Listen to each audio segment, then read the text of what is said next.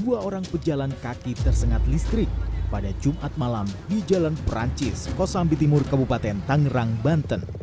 Satu orang tewas di lokasi kejadian, sedangkan satu korban lain dibawa ke rumah sakit terdekat untuk mendapat pertolongan medis. Kejadian nahas itu bermula saat wilayah tersebut sedang diguyur hujan deras.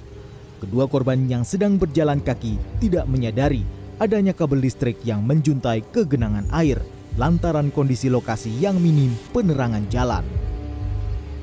Korban pertama satu, terus dapat beberapa menit kemudian ada lagi yang kesetrum gitu. Jadi korban ada dua.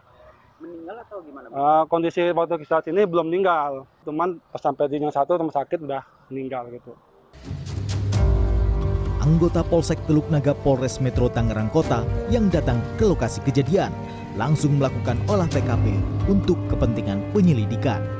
Adapun kabel listrik tersebut dipotong. Kasus ini sudah ditangani petugas PLN yang datang ke lokasi. Dimas Arif Setiawan, Tangerang, Banten.